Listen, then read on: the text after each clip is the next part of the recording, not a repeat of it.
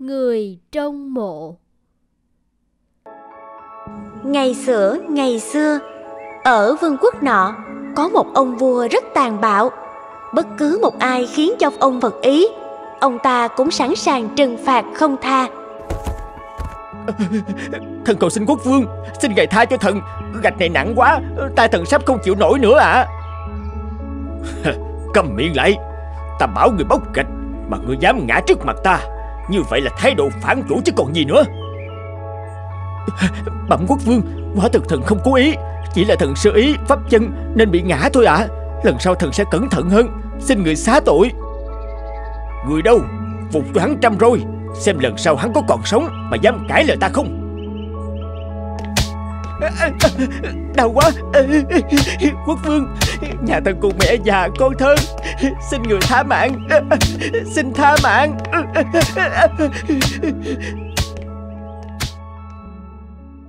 Chuyến này đi thị sát dân tình, Người theo dõi thấy gì lạ lùng. Nhớ nói cho ta biết, Xem xem lũ dân đen ngoài kia thành Có đang giấu giếm chuyện gì, Hay nghĩ xấu gì về hoàng gia không, Rõ chưa? Dạ vâng thần biết rồi ạ. à.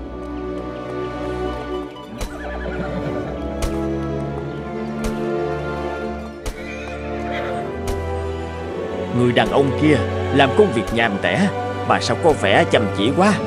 Từ sáng sớm đến tối mịt, Vẫn ở nguyên chỗ đó, Không thấy nghỉ ngơi. Ta hơi tò mò, Phải hỏi chuyện ông ta một chút mới được. Người trong nghĩa địa kia, Nhìn thấy ta sao không chào hỏi? Ông là ai? Tôi đâu biết. Tại sao tôi phải chào một người dân Chưa từng nói chuyện cơ chứ? Chẳng lẽ tên hèn mọn đó không thấy thần thái cao quý ngút trời của ta hay sao? Bẩm quốc vương, người quên là người đang đi thị sát dân tình sao ạ? Người ăn vẫn cải trang đi rồi, ông ta khó mà nhận ra được thần thái quốc vương ở người ạ. Tạm bỏ qua cho lão ta, nói cho hắn biết ta là ai đi. Kẻ trong mộ kia còn không mau hành lễ với quốc vương. Thân là Covid, thật là vinh dự được diễn kiến trước ngài, thưa quốc vương. Được, Covid, ta có chuyện này muốn hỏi ngươi đây. Ngươi làm nhiều như vậy, nhất định kiếm được không ít tiền. Ngươi có thể nói cho ta biết, ngươi đã dùng số tiền vào những việc gì không? Bẩm quốc vương, tôi đem một phần tư số tiền quẳng xuống nước, một phần tư số tiền để trả nợ, một phần tư số tiền để cho người khác mượn. Còn lại một phần tư số tiền thì để cùng người vợ sống qua ngày. Cái tên này nói cái gì thế nhỉ? Mình chẳng hiểu gì sức. Này tên kia, Ta tặng ngươi ba đồng tiền vàng Để ngươi giải thích cho ta nghe Về những lời ngươi vừa nói. Rất đơn giản thôi ạ. À. Tôi dùng một phần tư số tiền để mua muối ăn. Nó thật quá đắt. Sao bị hạ định thuế muối cao quá như vậy? Hỗn xược, Kẻ dân đen hèn hạ kia Thuê muối cao đâu liên quan gì đến chuyện Ngươi quẳng tiền xuống nước? Xin bệ hạ bình tĩnh, Tôi còn chưa giải thích à Được, Nếu ngươi không giải thích hợp lý, Ta sẽ chém đầu ngươi. Tôi cần phải cô muối.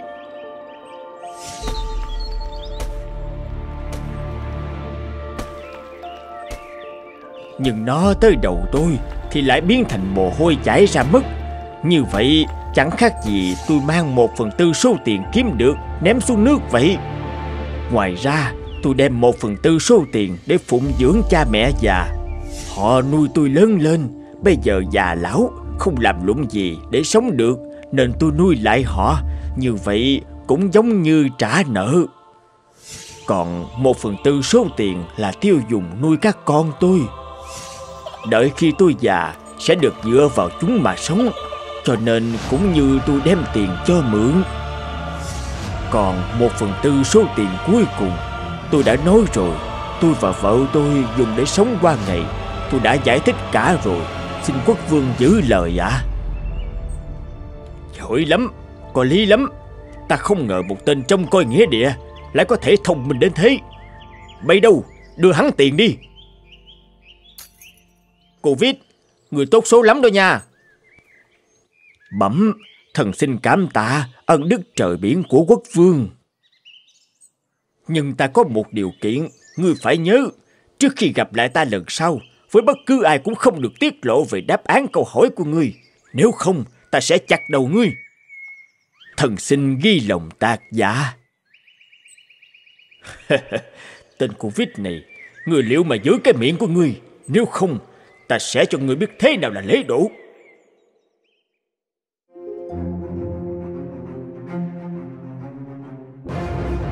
Dạ bẩm quốc vương, một phần tư số tiền quẳng xuống nước, một phần tư số tiền để trả nợ, một phần tư số tiền để cho người khác mượn. Như vậy là sao ạ? À? Chúng thần không hiểu. Sao? Trong các người không ai giải được ý nghĩa những lời này à? Dạ, chúng thần đã nghĩ nát ốc mà không thể giải nghĩa được câu hỏi của người. Đúng vậy, một câu đố quá hốc búa đi. Trí tuệ của quốc vương cao siêu quá nên chúng thần đành phải bó tay ạ. À? Ta lệnh cho các ngươi trong ba ngày phải nghĩ ra đáp án. Nếu không, ta sẽ phạt các ngươi quỳ ở đại điện một ngày một đêm. Mang tiếng là các quan đại thần trong triều, mà toàn lũ dốt nát như vậy. Ôi trời ơi, hôm nay quốc vương lại trở chứng rồi. Làm sao chúng ta thoát được hình phạt này đi? Nói bè bé cái mồm thôi, quốc vương mà nổi giận thì chúng ta khó sống được. Có một mục sư biết Covid là một người trong coi nghĩa địa rất thông minh. Thế là mục sư đưa cho người trong nghĩa địa ba đồng tiền vàng và biết được đáp án. Sau đó quay về bẩm báo lại quốc vương. Này, tên trong nghĩa địa kia, người đem đáp án bảo cho mục sư biết, phải không? Chỉ có ta và ngươi biết được đáp án câu hỏi này mà thôi.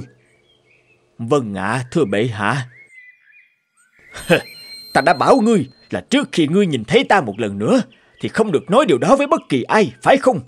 Bây giờ ta phải chặt đầu ngươi. Tâu bệ hạ, sau khi chia tay bệ hạ lần trước, tôi đã gặp bệ hạ mười mấy lần. Sao? Ngươi nói vậy là ý gì? Là thế này, ngày nào mà tôi chẳng thấy những đồng tiền vàng này, tạ ơn người vì đã cho tôi những đồng vàng quý giá đúc chân dung của người. Nhìn thấy những đồng tiền này, chẳng khác nào sự hiện diện của người bên cạnh tôi, khiến tôi sang trọng và giàu có lên bội phần. người được lắm. Quốc vương không thể nói thêm lời nào, cũng không có cớ gì trách cứ người trong nghĩa địa, đành trở về cung. Một trong những thứ giúp ta đứng vững trước cường bạo và mọi thử thách, đó là trí tuệ. Năm đồng xu hay một hòn đá.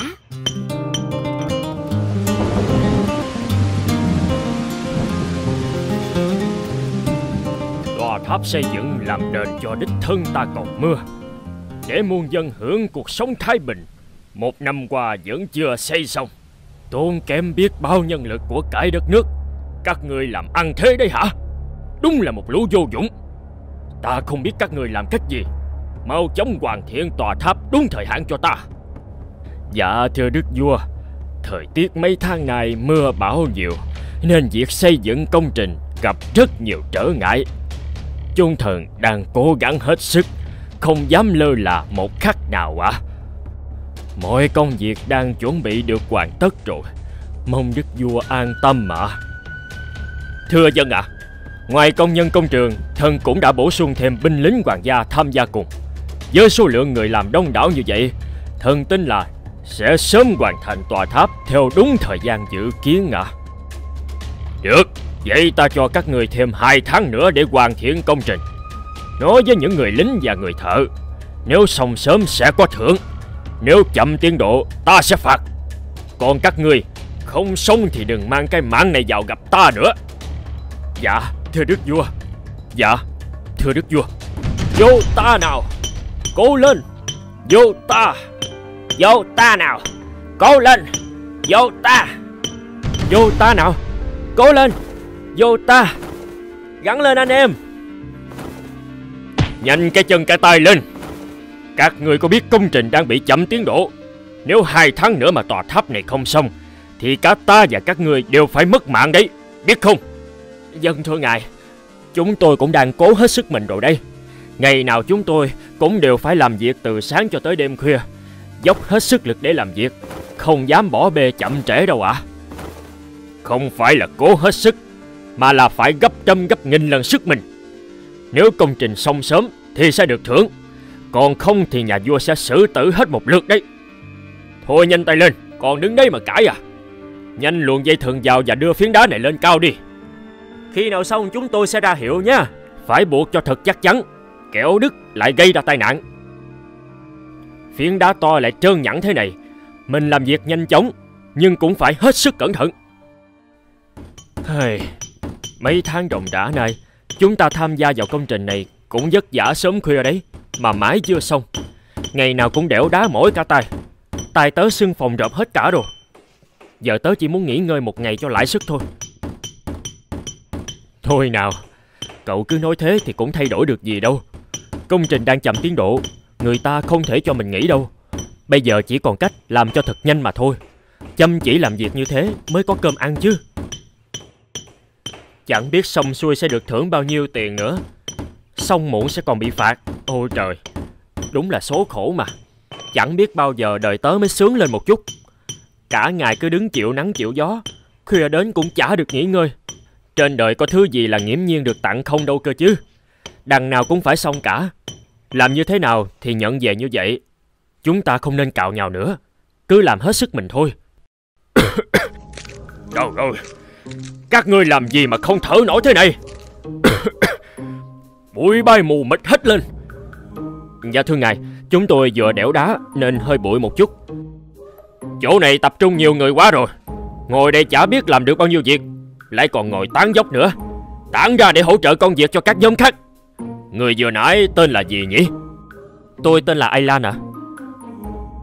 Được rồi Người nhanh nhẹn đấy. Từ giờ Người không thuộc đội đẽo đá nữa. Hãy ra chỗ những khối đá kia Và dắt lên trên giàn giáo đi. Lát nữa là dùng tới rồi. Nhưng Nhưng mà Tôi chưa làm việc đó bao giờ, thưa chỉ huy. Làm rồi sẽ quen. Còn đứng đấy làm gì? Nhanh đi đi. Không làm hôm nay ta lại trừ lương. Cắt cơm của người bây giờ. Dân, thưa ngài Tôi làm luôn đây ạ. À?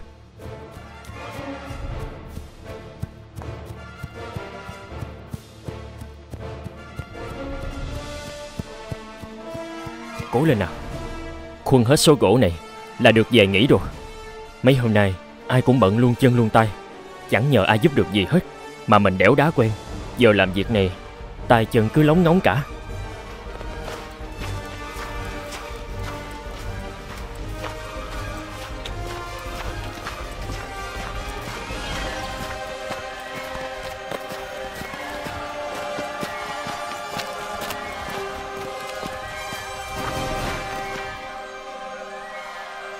Nhìn từ trên cao xuống thấy chóng mặt quá.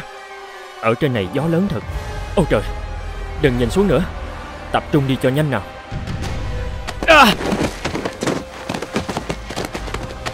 Có Có ai không? Giúp tôi một tay với. Có ai không? Làm ơn, Giúp tôi với. Mình Mình phải cố chịu đựng. Rồi sẽ có người nghe tiếng kêu cứu của mình thôi. Sắp tối rồi. Nên mọi người đã xuống hết. Chỉ còn nhóm công nhân ở dưới kia, Phải kêu họ lên cứu. Nếu không thanh gỗ này, không trụ được nữa, Thì mình sẽ rơi xuống kia và mất mạng. Giúp tôi với! Làm ơn giúp tôi với! Cứu mạng! Cứu tôi với! Làm ơn giúp tôi với! Cứu mạng! Cứu tôi với! Có ai đó không?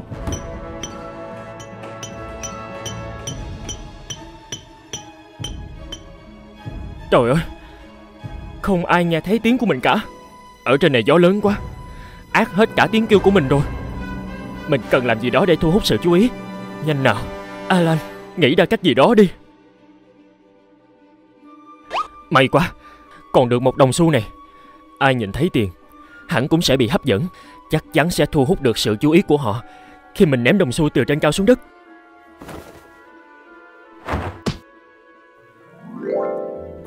Ha ha, Không biết đồng xu này từ đâu bay tới đây.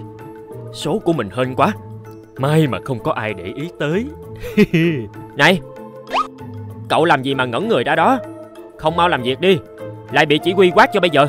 Ờ có gì đâu, Mình mỏi người quá, ngồi nghỉ chút thôi. Mình làm tiếp đây. Trời ơi, Họ vẫn không để ý tới mình trên này. Chân của mình đã mỏi rã rời rồi.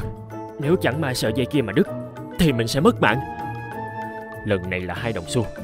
Chắc chắn họ sẽ phải chú ý lên đây. Có thể lần đầu, Đồng xu nhỏ kia còn chưa thể gây sự chú ý. Ôi, mỏi chân ghê. Ngồi cả ngày các cậu nhỉ? Lưng của tớ như sụng cả ra rồi. Sắp đến giờ tan ca rồi đấy. Ôi, Không biết ai đánh rơi những đồng xu này nhỉ? Đúng là tiền từ trên trời rơi xuống. Số mình hôm nay quá may mắn. Làm việc xong, Phải mời Aylan đi ăn một bữa mới được. Trời ơi Sợi dây không thể chịu được sức nặng của mình lâu nữa. Mình chỉ còn 5 đồng xu nữa thôi. Hy vọng lần này, Họ sẽ để ý tới mình trên lầu cao. Cầu chúa phù hộ cho con. Ôi, tiền của ai vậy? Tự dưng chúng vừa rơi xuống đấy. Đúng là hôm nay hên quá đi mất. Đồng này là của tớ đó nha. Thấy đồng này là của tớ. Không thấy chủ nhân thì chúng sẽ thuộc về chúng ta. Cách này không hiệu quả. Mình đã làm ba lần rồi. Ai cũng nhặt tiền dội vàng cho vào túi, Rồi lại làm tiếp việc của mình. Chẳng thèm đối hoài, nhìn lên cao tới một lần. Giờ mình biết làm thế nào để kêu cứu nữa đây. Ôi, Cả người mình mỏi nhừ rồi. Máu dồn xuống não, Chóng mặt quá đi mất. Không thể trụ được như này nữa. Cứ thế này, Mình sẽ mất mạng mất. Phải làm thế nào bây giờ?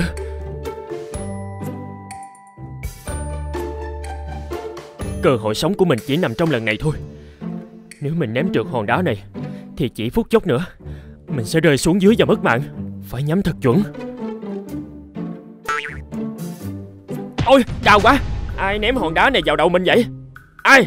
Ai mà bất cẩn thế cơ chứ? Sưng u cả đầu tôi lên rồi đây này. Không phải tôi. Tôi vẫn đang làm việc. Tôi chẳng còn thời gian đâu mà đi trêu chọc cậu Hinh ạ. Cũng không phải tôi. Mà Beo có thể làm chứng. Chúng tôi nãy giờ chỉ chăm chăm đẻo cho xong tảng đá này thôi. Trời ơi. Sưng u cả đầu tôi lên rồi mà không ai chịu nhận hả? Hình như hòn đá này ném từ trên kia xuống. Phải xem ai là người đã ném xuống mới được. Này Anh nào làm gì ở trên kia phải cẩn thận chứ. Đá rơi xuống trúng đầu tôi chẳng may bị thương thì làm sao? Làm ăn ẩu đến thế là cùng. Trời ơi Mọi người nhìn kìa. Trên kia có người gặp nạn. Mọi người mau lên giúp anh ta. Anh ta bị treo trên sợi dây thế kia. Từ bao giờ vậy chứ? Nhanh lên. Không anh ta rơi xuống bây giờ Treo mình trên sợi dây nhìn nguy hiểm quá đi. Các cậu ơi, Nhanh lên, Không muộn mất. Cứu người Cứu người các cậu ơi. Có chuyện gì thế? Không làm việc còn làm gì mà ầm ĩ lên thế? Ta cắt hết cơm tối của các ngươi bây giờ. Có một người sắp rơi thưa ngài. Phải mau cứu được anh ta. Cố lên ấy lên. Mày sắp được cứu rồi. Phải kiên trì tới cùng. Cố gắng chịu đựng một chút nữa thôi. Cầu chúa phù hộ bình an cho con. Là Aylan Trời ơi, là cậu hả? Aylan cố gắng chịu đựng. Tớ sẽ kéo cậu lên. Nhanh lên nào mọi người. Hình May quá. Cậu đã tới rồi. Cố lên, Nắm lấy tay tớ. Không được buông tay ra. Sắp được rồi. May quá. Mọi người đến kịp. Nếu không tôi tưởng Tôi sẽ mất mạng rồi. Cảm ơn mọi người đã cứu mạng. Cảm ơn tất cả mọi người, Đặc biệt là cậu. Hình à Chỗ này quá cao. Chúng tôi không thể nghe được tiếng kêu cứu của cậu. May mà cậu nhanh trí, Ném hòn đá xuống trúng đầu tớ, Thì tớ mới để ý lên đây đấy. Nếu không thì đã có chuyện lớn xảy ra rồi. Thực ra, Tớ đã ném những đồng xu xuống, Nhưng không ai để ý đến nó cả. Quá ra, đó là đồng xu của cậu hả? Thế mà tớ cứ tưởng ông trời ban may mắn xuống cho tớ nữa kia. Mọi người mãi việc quá, Nên không ai còn thời gian để ý lên trên này. Tớ hét khản cả giọng, Mà gió lại thổi ác đi. Chẳng có ai nghe tiếng. Ngẫm lại sự việc, tôi thấy là đôi khi con người Chỉ quen với việc chỉ trích và la mắng người khác Khi bản thân mình gặp vấn đề. Thực ra ai cũng vậy cả, Tự nhiên nhận được thứ lợi lộc từ trên trời rơi xuống. Đều mau chóng bắt lấy nó cho riêng mình, Mà không quan tâm nó đến từ đâu. Chỉ khi thứ nhận về Là cục đá rơi đau ung cả đầu, Mới tìm cách phàn nàn với xung quanh. Cục đá đó đã cứu cậu đấy Alan ạ à? Nếu tớ không ngẩng đầu lên cào nhào thì Trải qua giờ phút sinh tử Tớ chợt nghĩ, Nếu đổi lại, Tớ là người đứng dưới Và nhận được những đồng xu, Tớ cũng sẽ như cậu và mọi người, Coi những đồng xu là món quà nghiễm nhiên được nhận. Chúng ta mặc nhiên coi nó là vận may của bản thân, Nhanh chóng quên đi ngay tức khắc, Rồi tiếp tục làm công việc hiện tại. Sẽ có những lúc, Thượng đế muốn báo hiệu cho chúng ta điều gì đó, Và chúng ta quá bận rộn với công việc của mình, Đã vô tình bỏ lỡ Và chẳng hề ngó ngàng tới những lời báo hiệu này. Khi ở trên tầng cao trong túi sắp hết đồng xu đến nơi rồi. Tớ đã rất tuyệt vọng Và nghĩ có lẽ Ném một hòn đá đau Sẽ gây sự chú ý hơn. Đúng vậy Alan nói phải đấy, Chỉ đến khi Thượng Đế không tìm được cách liên lạc với chúng ta, Ngài buộc phải ném cho chúng ta vài viên đá nhỏ Mà chúng ta hay gọi là các vấn đề trong cuộc sống Khiến chúng ta đau đầu. Chúng ta mới ngước lên cao Tìm hiểu nguyên nhân, Đổ lỗi hoặc cầu xin sự giúp đỡ. Phải không nào, Alan? Alan, Thật may là cậu vẫn sống sót. Có lẽ chúng ta phải biết ơn Thượng Đế Đã cho chúng ta bài học về những đồng xu Và một hòn đá trong thời khắc sinh tử của cậu ngày hôm nay. Cậu nói hay quá Hình Thôi, mọi người mau xuống làm việc thôi. Trời cũng muộn rồi đấy. Chúng ta sắp sửa tăng ca rồi.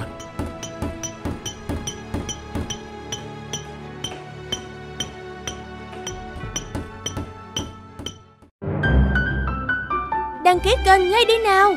Mỗi ngày, bài học cuộc sống sẽ cho bạn xem các video thú vị nhất.